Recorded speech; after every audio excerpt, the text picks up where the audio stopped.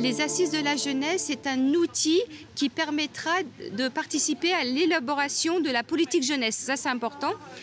Et à quoi ça consiste euh, Les assises de la jeunesse euh, permet de donner la parole aux jeunes, permet de les faire s'exprimer sur différentes thématiques et euh, en fin de compte de récolter leurs attentes par rapport aussi à pouvoir faire des actions concrètes au niveau de la Roche-sur-Yon. Les assises, alors c'est un temps long, c'est tout 2024. Et donc, il y a des thématiques qui sont ressorties de l'enquête jeunesse, comme la mobilité, euh, comme euh, l'environnement, comme la santé. Euh, l'exercice, c'est huit thèmes leur sont proposés avec des Legos de couleurs correspondants. Et donc on les invite à positionner en fait un Lego sur une fresque commune. Et donc à la fin de la semaine on fera un décompte de Lego posés, des couleurs. Et donc à partir de là on pourra en déterminer les thèmes prioritaires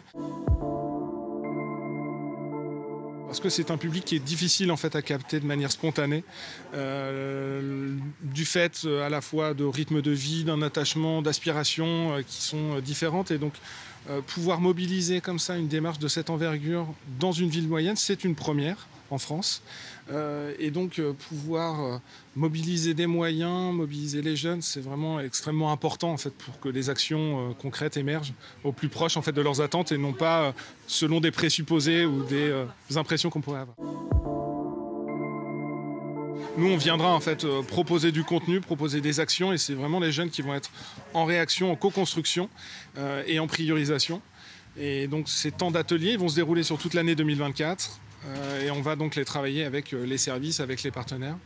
L'ambition, c'est bien de pouvoir, euh, à l'issue en fait de ces ateliers, en tirer en fait des synthèses et les soumettre en fait à validation des élus, des services, pour que ces actions proposées soient réellement mises en œuvre à partir de 2025 et puis pour les années à venir. Donc on est vraiment dans une démarche pour l'action à destination des jeunes. Aujourd'hui, on a à peu près 12 000 jeunes au niveau de la Roche-sur-Yon. Et euh, au niveau de l'accompagnement de la jeunesse, oui, c'est une priorité municipale. C'est pourquoi, alors, on parle des assises, mais fin 2022, il y a eu l'enquête sur la jeunesse. Donc, il y a, eu à peu près 150, euh, non, 1500, pardon, 1500 personnes qui ont répondu. Et euh, en fin de compte, les assises de la jeunesse, c'est vraiment la continuité de la parole donnée aux jeunes.